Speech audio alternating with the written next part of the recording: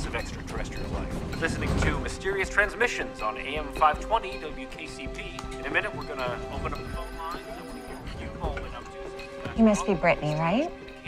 Is that voice coming from the speakers right now? Sky, strange men Yes. showing up at your door asking questions that don't make any sense. Things in your house moving around, even though you swear you haven't touched them. All You must be here for the producer gig. Take me to your leader. Take a little break here, and when we get back, we're gonna lift the veil together.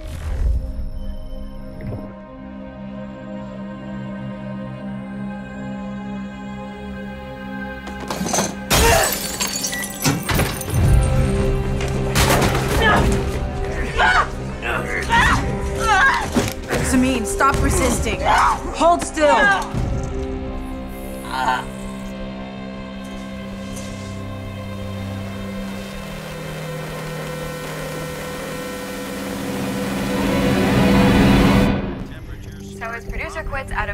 Nowhere, and then his engineer quits.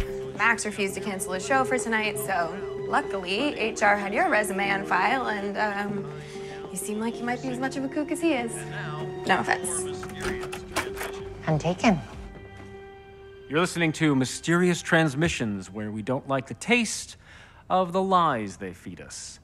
We have a supersized show tonight. From sundown to sunup, I will be here with you, talking conspiracies, the paranormal, the strange things lying just beyond our understanding. If anyone's ever mocked you for asking questions, I'm here to listen.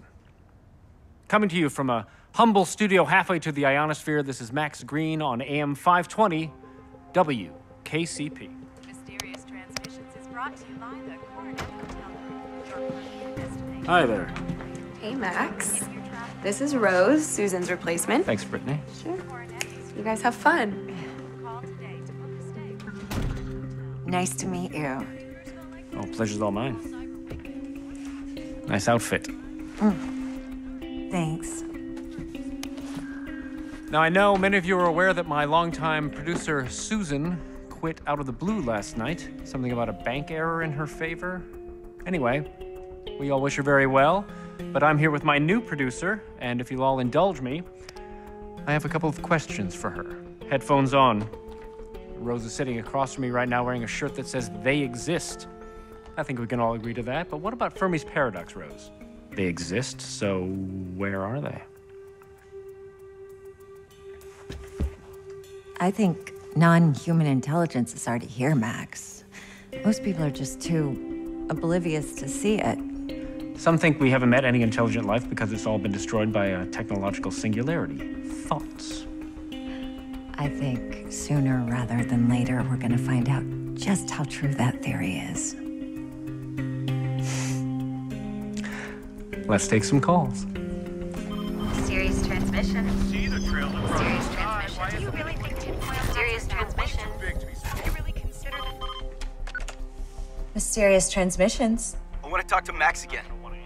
What's your name? Warren Franco, he knows me. Okay, Warren. Uh, let me put you on hold a minute. Thanks for your call, Joshua. Let's take our next caller. Okay, we got our friend Warren back on the line. I uh, take it you haven't finished with me yet? I need to properly explain myself. Chinese satellites are the real threat. How so? Mind control waves, I've measured them, they're real. And I think you don't want to listen because they're controlling your mind as we speak. I don't think anyone's controlling my mind, but anything is possible. Don't be patronizing, makes you sound like some kind of shill. I know when I'm in control. And, and these days, I don't feel like I'm in control. Hey, Big Lug. Mind flashing your badge and getting some info for me? What are you doing? Searching for Shaw. The machine put me on a mission that may lead to her. What can I do? I need help looking into someone named Warren Franco. Who's that? Some nut who keeps calling this radio show Mysterious Transmissions on AM 520. You and Harold would like it. The host is more paranoid than we are. Are you working the number? Can a girl ask her cop friend to look up a creepy guy without getting the third degree? I just want to know if this guy has anything to do with finding Sameen. Okay, be careful, Root. Thanks, John.